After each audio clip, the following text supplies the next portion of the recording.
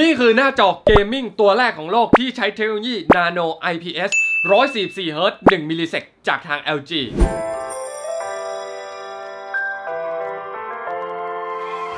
สวัสดีครับ สวัสดีเพื่อนชาว Extreme IT ทุกท่านกลับมาเจอผมเช่นเคยนบ Extreme IT นะครับสำหรับวันนี้ผมได้รับหน้าจอรุ่นใหม่ล่าสุดจากทาง LG เป็นรุ่น a n t a g e a 27 GL 850 หน้าจอตัวนี้อยากจะบอกว่าเป็นสเปคที่มาตัวแรกของโลกเลยนะครับ ไม่ว่าจะเป็นในเรื่องเทคโนโลยีที่เป็น Nano IPS หรือว่าหน้าจอที่เป็นอัตรา refresh rate 144 Hz แล้วก็มีอัตราการตอบสนองที่ 1 millisec เท่านั้นโดยอย่างแรกเราจะมาดูในเรื่องของดีไซน์หน้าจอตัวนี้กันก่อน จะมาในขนาด 27 นิ้วนะครับ ขอบหน้าจอเนี่ยเรียกได้ว่าบางมากบางเฉียบมากนะครับ แล้วก็ตัวฐานของจอเนี่ยเขาจะมาเป็นรูปตัว V มีสีแดงตัดที่สวยงามมากๆนะครับผม แล้วก็ในส่วนของตัวขาตั้งจอตัวนี้นะครับเขาสามารถปรับมุมก้มมุมเงยได้นะครับ แล้วก็ปรับยกสูงยกต่ำนะครับทำได้อิสระมากมาย แต่ที่เจ๋งกว่าหน้าจอรุ่นอื่นๆนะครับที่เขาไม่ได้มีให้มาก็คือในเรื่องของการปรับหน้าจอเป็นแบบแนวตั้งหรือว่าแนวนอนนะครับตัวนี้สามารถปรับแนวตั้งได้สูงสุดถึงอย่างนี้เลยนะครับ สามารถใช้งานจอจอแบบ 4 จอ 5 จอ 6 จอ เชื่อมต่อกันให้มันเป็นแนวตั้งไว้อ่านการ์ตูนหรือว่าการเล่นเกมอะไรต่างๆนะครับ สามารถทำงานได้อย่างหลากหลาย ไม่ว่าจะเป็นการเล่นเกมดูหนังฟังเพลงนะครับ หน้าจอตัวนี้สามารถตอบโจทย์ได้ และในเรื่องของดีไซน์ด้านหลังมีอะไรกันบ้าง เดี๋ยวเรามาดูกันโดยด้านหลังของหน้าจอตัวนี้นะครับดีไซน์ดูโฉบเฉี่ยวมากๆนะครับแล้วก็ดูแบบเรียบเนียนตานะครับจะมีการตัดเส้นสีแดงสวยงามทั้งขอบจอนะครับทางด้านหลังแล้วก็ตัว ขาตั้งของจอตัวนี้ เรื่องของ port การเชื่อมต่อมีมาให้ค่อนข้างครบครันมากๆ ไม่ว่าจะเป็นเรื่องของพอร์ต HDMI ที่มีมาให้ถึง 2 พอร์ต Display พอร์ตอีก 1 ช่อง แล้วก็ USB 3.0 อีก 1 port นะครับ อีกรูนึงจะเป็นรูในเรื่องของการเสียบติดตั้งตัวหูฟังนะครับ แล้วก็พร้อมกับตัว USB hub ที่เอาไว้เสียบเข้ากับคอมพิวเตอร์ เพื่อให้หน้าจอตัวนี้เป็น hub USB 3.0 ให้กับคอมพิวเตอร์ของคุณใช้งานได้ด้วยนั่นเองนะครับ เรื่องของการปรับตั้งค่าหน้าจอตัวนี้อยากจะบอกว่าใช้งานสะดวกสบายมาก เขาจะมีปุ่มจอยสติ๊กอยู่ทางด้านล่างของหน้าจอตรงนี้สามารถใช้นิ้วเดียวในการปรับเปลี่ยนปรับฟังก์ชันใช้งานได้สะดวกสบาย ถือว่าไม่ต้องมานั่งคลำนั่งจำหานะครับว่าปุ่มไหนคือเมนูอะไรจอยสติ๊กตัวเดียวเอาอยู่ โดยต้องบอกก่อนเลยนะครับ เจ้า LG Ultra Gear ตัว 27GL 850 ตัวนี้นะครับ มันมาพร้อมกับขนาด 27 นิ้ว และก็ความละเอียดของหน้าจอเขาเนี่ยจะอยู่ที่ QHD หรือว่าจะเป็นขนาด 2560คูณ1440 มาพร้อมกับอัตรา range สีแบบ HDR10 นะครับ ให้สีแบบ High Dynamic Range นะครับ ความสว่างหน้าจอเนี่ย ให้มาสูงถึง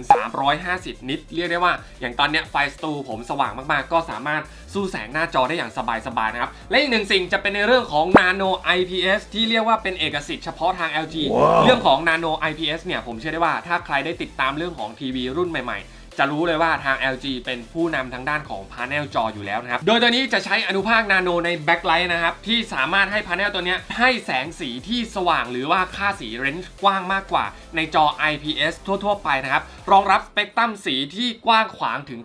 98%ของช่วงสี DCI P3 และความหลากหลายของสีหน้าจอที่มากกว่า sRGB 100%ถึง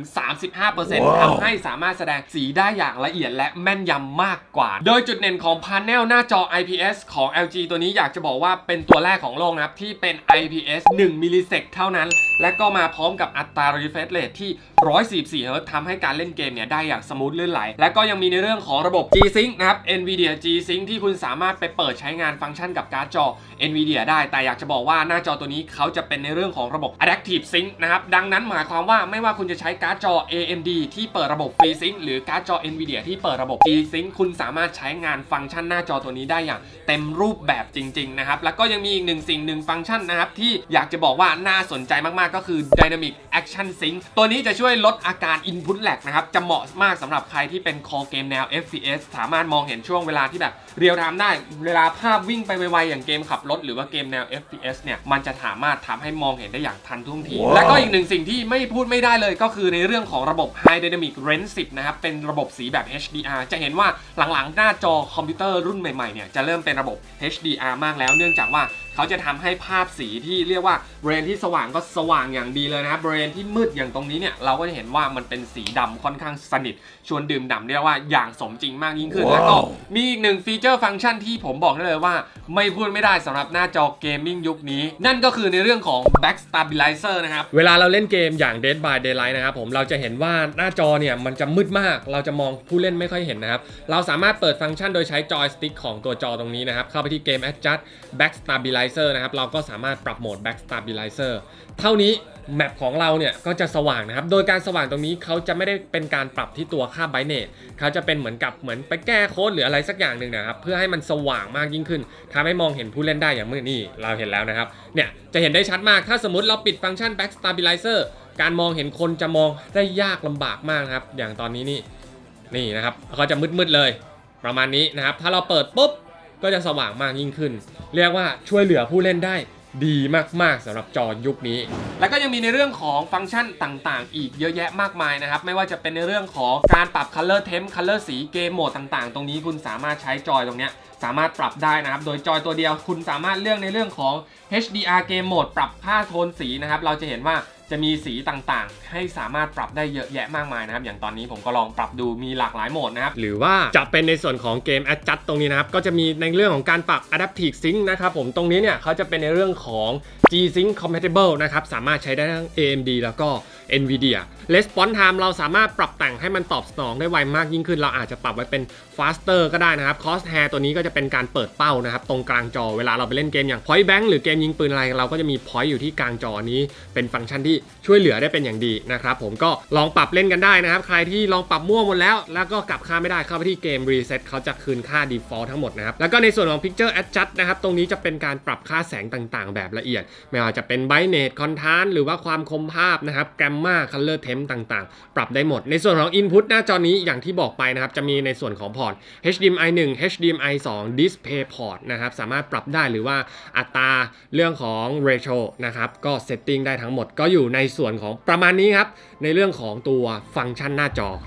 เรียกได้ว่าถ้าสมมติใครกำลังมองหาหน้าจอคอมพิวเตอร์หรือหน้าจอมอนิเตอร์มาใช้งานในเรื่องของการเล่นเกม หรือว่าการทำไฟล์ภาพการทำสีอะไรต่างๆ ที่ดูน่าสนใจ เจ้า LG ตัวนี้เนี่ยถือว่าเป็นทางเลือกอีกหนึ่งตัวที่น่าสนใจมากๆนะครับเพราะว่าตัวนี้อยากจะบอกตัว panel ของเขาเนี่ยเหมือนกับเขาถอดเทคโนโลยีของทีวีที่เป็นเรื่องของ premium NanoCell TV ออกมาเลยนะครับมาใช้อยู่ในหน้าจอคอมพิวเตอร์ทำให้สีสันเนี่ยได้เต็มอรรถรสมากๆ ไม่ว่าจะเป็นการเล่นเกม หรือการดูหนังอะไรต่างๆเนี่ยจะให้สีที่อิ่มมากๆนะครับและเรื่องของการตอบสนองอย่างที่ผมบอก ตัวนี้ IPS 1มิลลิเซกตัวแรกของโลกที่สามารถทำอัตรา refresh rate ได้ถึง 144เฮิร์ตนะครับ ไม่ว่าจะเป็นการ์ดจอ NVIDIA การ์ดจอ AMD คุณสามารถใช้งานฟังก์ชัน FreeSync G-Sync โดยผ่านเรื่องของระบบ Adaptive Sync ได้อย่างสบายๆ ไม่มีติดขัด ฝากกันไว้สำหรับหน้าจอ LG Anta Gear 27GL 850B สำหรับวันนี้ทางผมนก Extremity ขอตัวลาไปก่อนแต่เพียงเท่านี้ อย่าลืมกดไลค์ กดแชร์ กด subscribe เป็นกำลังใจด้วยครับสำหรับวันนี้ สวัสดีครับ